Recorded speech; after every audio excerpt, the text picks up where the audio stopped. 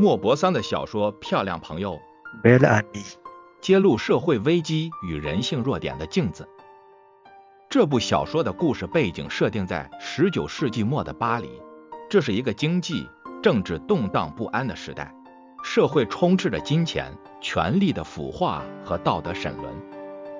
主人公乔治·杜罗亚 Georges Duroy，起初是一位贫穷的退伍军人，但他从一个平凡的小人物迅速崛起，成为社会上受人羡慕的美少年。这个角色名称中蕴含着一种虚伪的美感，象征了人们追求外表光鲜亮丽的表面，而忽视了内在的真实。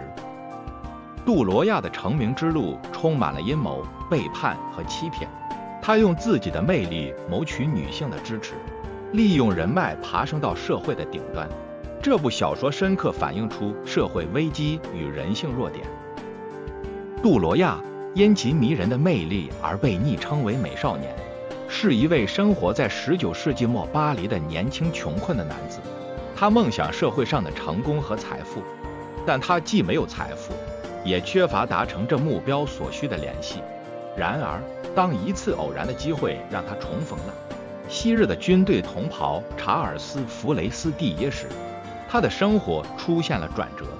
查尔斯在报纸《法国生活》上担任记者，并向杜洛瓦提供了一个自由撰稿人的工作机会。杜罗亚由此开始了他的新闻事业，但他在这个领域中很难站稳脚跟并赚取足够的钱。他遇到了查尔斯的美丽妻子马德琳·弗雷斯蒂耶，他成了他的情妇和顾问。马德琳鼓励他写文章，并利用自己的魅力提升社会地位。借助他的吸引力，杜洛瓦迷住了有影响力的维吉尼亚·瓦尔特，成为了他的情人。他引人注目的文章和多次情感纠葛使他声名大噪。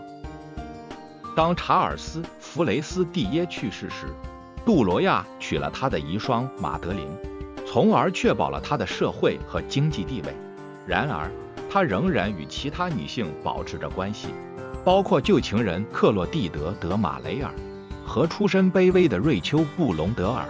杜罗亚逐渐在新闻界攀升，成为巴黎社会中最引人注目的人物之一。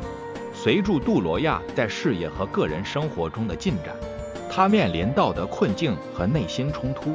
他对权力和成功的渴望驱使他操纵和背叛周围的人，包括朋友和情妇。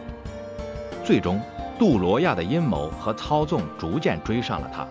他的自私行为和多次动荡不安的情感关系带来了戏剧性的后果，导致他的某些关系瓦解、声誉损失。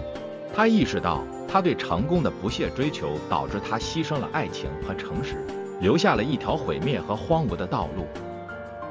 莫泊桑的小说《漂亮朋友》，通过主人公乔治·杜罗亚的生活和经历，深刻地描绘了19世纪末法国社会的问题。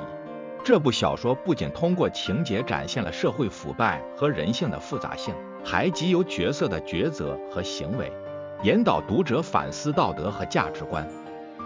漂亮朋友成为了一面镜子，让我们反思人性的善恶。社会的腐败以及在面对诱惑和困境时的选择。